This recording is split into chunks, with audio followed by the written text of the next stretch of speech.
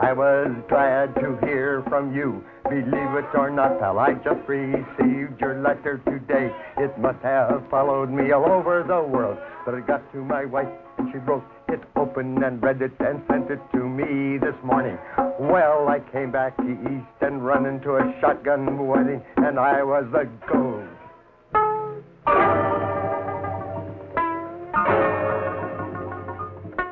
Harry Partch was a composer who lived from 1901 to 1974. Um, to some of us who, uh, who love his music, he is uh, one of the most important composers of the 20th century, um, and in some ways for opening up new uh, possibilities is the most important.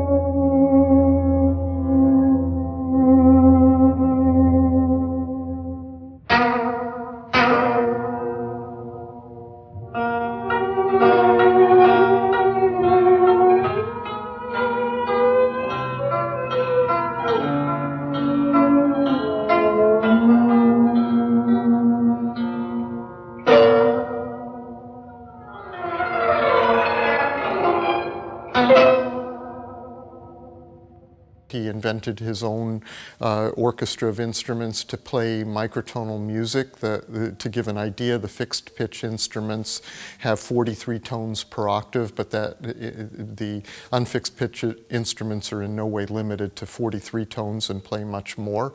And also the, the, uh, the tuning is in just intonation as opposed to equal temperament that's common to Western fixed pitched instruments. Now, I think my music is intrinsically corporeal, that it has a body feeling about it. I care what the instruments look like. They are pieces in space. They're spatial products. And being in space, they have to look great. They have to be inspiring all by themselves.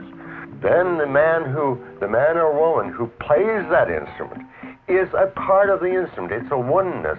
It's a wholeness. And uh, by God, if I have anything to say about it, he's not going to look like a, uh, an amateur California prune picker. Some of them are, are instruments where I think that you, one could say that they're really planned out in terms of he had an idea for an instrument and then had to obtain the materials to realize the goal. And some of them um, range more in the found object type of instrument where he had some objects that made interesting sounds and assembled them into an instrument. Um, most of them are built in a way where, where they're beautiful to look at and, and that's part of the, the theatrical element of his music theater, which is to have these beautiful instruments on stage to be seen and, and to be integrated into the music and the action of each piece. This tongue must vibrate at virtually the same frequency as this cavity. And so you can say, you can say the tongue must couple with the cavity or there's no resonant tone. And uh, yes, this is very sexy. Other composers in this century have invented new instruments, and they've looked outside the culture to examine the rituals of non-Western man. Harry's done this also, but he's also brought a, a tuning system that gives a complete tonal gamut of, of dissonance and consonance. To this, he's built a whole new orchestra of instruments in a multimedia presentation.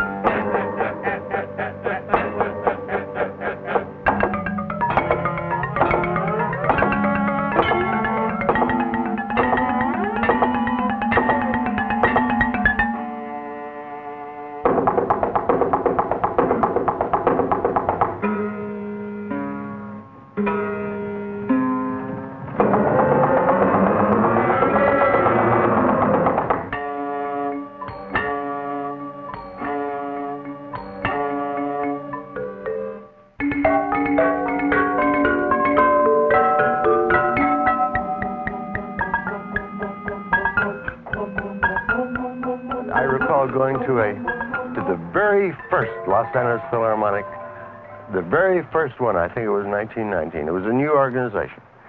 And uh, I recall this great body of blue-haired ladies sitting below me.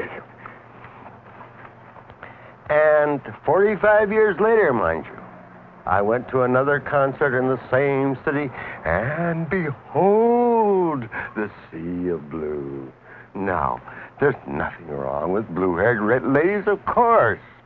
But if we aren't concerned about our youth, we're headed straight to a dead end. Two, three, four. I'd like to do it again. Two, three, four. One, two, three, four. One, two, three. Da da da da dum. I'm old enough to have been a, a, young man and, and performed in the 1969 version of Delusion of the Fury, and then I also was music director in Newband's version in 2007. I met him when I was 16 and he was 65, and he didn't have many more instruments that he was building at that point, just finishing up a couple for uh, the, end of, the end of the Petals of Petaluma project and, and also Delusion of the Fury, and, and so I, I saw a bit of that that, yes. Watch that bar. You can't play around with it up and down, up and down. I mean, you can't tilt it constantly. Oh. You, it's got to be at a constant angle. That's better. There you go. Good. Well, Delusion of the Fury is Harry Partch's last big work. He, he had composed several other uh, stage works, and, and this is the final one. And um, it's definitely probably the most, the, the, highest level music of any of the staged works. Uh, it, some of the others are just as strong theatrically and to my way of thinking, but, but this is sort of the culmination of a lifetime of his musical work. The, the piece is based on two folk stories. One of them is a, is a Japanese uh, um, uh, folk tale, and the other one is an African folk tale. And the first one is, is serious, and the second one is comic.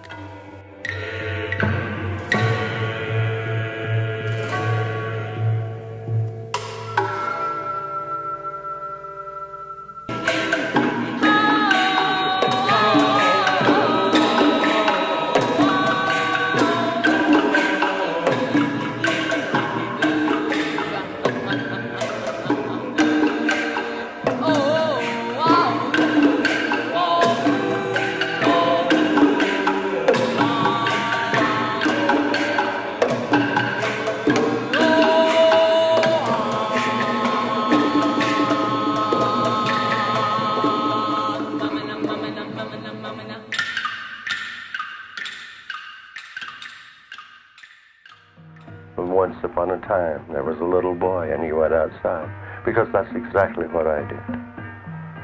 When I was pretty young, I've been going outside ever since. I went outside in the big ranch country of Arizona and almost got bitten by a rattlesnake and uh, a thousand other things. And then later I went outside of music. I guess I'm still going outside. But I'm not a little boy any longer. I would choose to be anonymous. Of course. I, I, am I'm, I'm thinking of the this fantastic cave drawings in, in France and southern France and in northern Spain, La Altamira, I think it is. And there's no author there. What a treasure they are. And and uh, who who cares who wrote? How many thousand years years ago was that? No, well, of course, I'm not saying that anything I'm going to do is going to last that long. But who cares what the name was?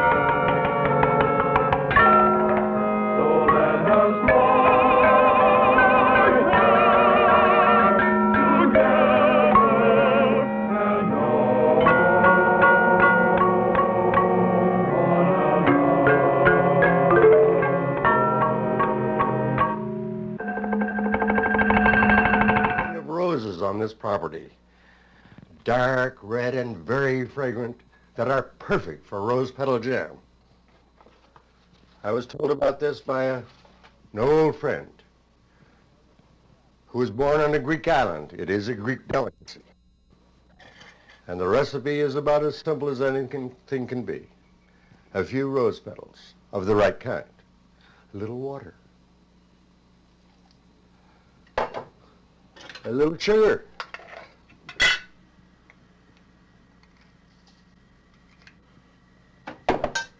Stir and boil for about one minute. Ah, rose petal jam.